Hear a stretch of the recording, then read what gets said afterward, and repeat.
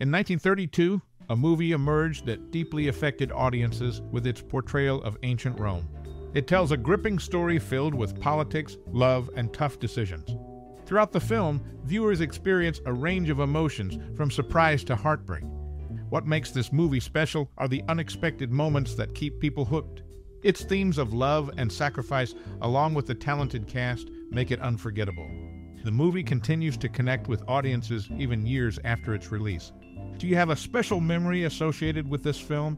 Whether it's watching it with loved ones or discovering it for the first time, many people hold dear memories connected to it.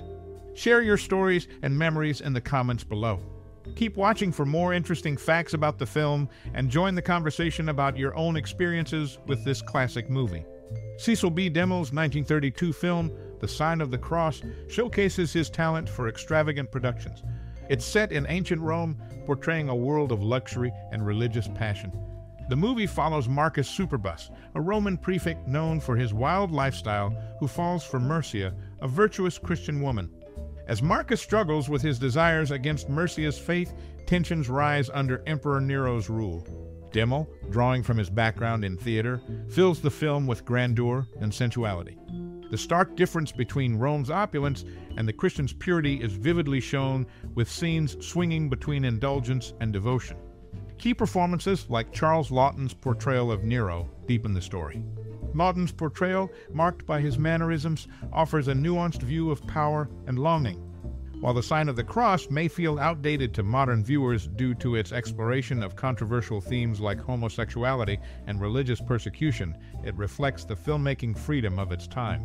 Looking back, while DeMille's film may not connect as strongly today, its historical importance and skilled filmmaking are undeniable. It stands as a significant work in DeMille's career, highlighting his love for spectacle and storytelling. The Sign of the Cross, released in 1932, holds historical significance not just as a film, but also for its cast members. One notable actor, John Carradine, who didn't feature in the movie, was considered for the role of Big Daddy in Cat on a Hot Tin Roof by writer Tennessee Williams. Despite other commitments, Carradine eventually took on the role in a 1977 Los Angeles production. In a different facet of his life, Carradine was acquainted with Reverend Felton H. Griffin, a pioneering Alaskan minister.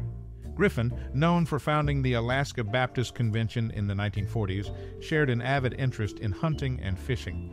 On occasion, he even flew Carradine to his cabin at Coal Lake, Alaska, for weekend retreats. During the filming of Jamaica Inn, in 1939, Charles Laughton, a key figure in The Sign of the Cross, allegedly developed an interest in his teenage co star Maureen O'Hara. Laughton spoke of wanting to adopt her, but his wife, Elsa Lanchester, dismissed it as a passing whim. Lanchester suggested that O'Hara had exploited Laughton's kindness to further her career. Their strained relationship was evident, with Lanchester expressing her dislike of O'Hara, who, in turn, made her feelings towards Lanchester clear in her memoirs. In conclusion, the cast and crew of The Sign of the Cross had connections that extended beyond the confines of the film set, with actors like John Carradine and Charles Laughton involved in intriguing off screen stories. The Sign of the Cross is a movie from 1932. It stars an actor who had diverse interests, such as reading, writing poetry, playing the banjo, and playing chess. He was in a long term relationship with actress Beverly Roberts. In total, he acted alongside his wife Elsa Lanchester in seven films, including The Private Life of Henry Roman VIII, Rembrandt, and Witness for the prosecution. The Sign of the Cross was directed by Cecil B. DeMille and features an ensemble cast. It is known for its lavish production, including elaborate sets and costumes. The movie explores themes of love, betrayal, and religious persecution in ancient Rome. It received mixed reviews upon its release, but has since gained a reputation as a classic of early Hollywood cinema. The Sign of the Cross, a movie from 1932, features a lead actor deeply involved in Irish nationalism, having fought in the Easter Rising of 1916 and later portraying one of its leaders in The Plough and The Stars in 1936. In 1934, Theda Bara expressed confidence in Claudette Colbert's performance in Cleopatra, despite initially not categorizing her as a vampire. The movie shares the honor of having actors Jose Ferrer, Helen Hayes, and Ingrid Bergman as the inaugural winners of Tony Awards for acting in 1947.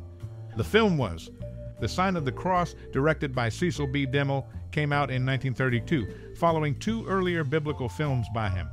Diana Gemora, whose father had a significant role, starred in the movie. In 1944, a prologue was added to enhance its appeal to audiences, completed on March 25th at a high cost.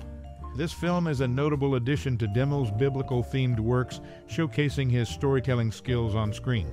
The Sign of the Cross, a film from 1932, boasts a cast with roots in performance. Its lead, Fredric March, delayed filming for a week to complete another project.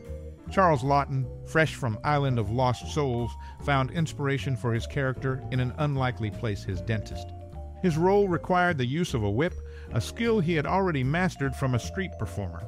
Directed by Cecil B. DeMille, this historical drama brings ancient Rome to life on the silver screen. The Sign of the Cross, released in 1932, is a movie with historical significance.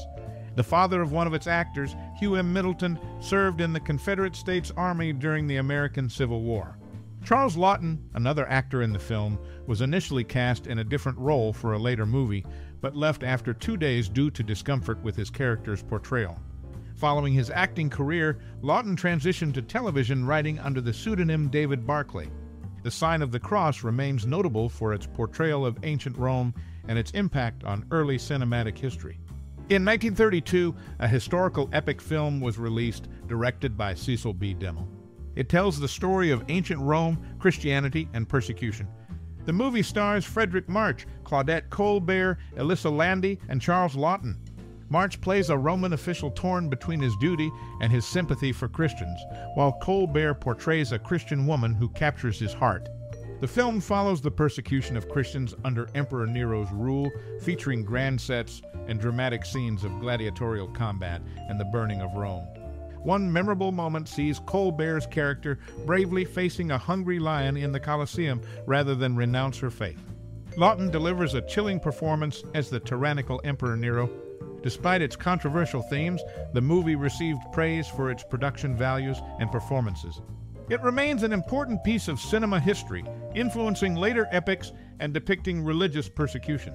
It continues to be studied and appreciated by fans and scholars alike for its cinematic achievements.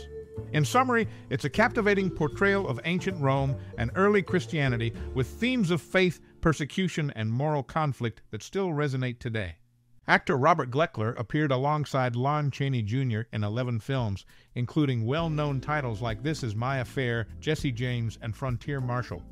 They also worked together on movies such as House of Frankenstein, The Mummy's Ghost, and House of Dracula. Despite criticism from some critics for overacting, his popularity with audiences remained strong.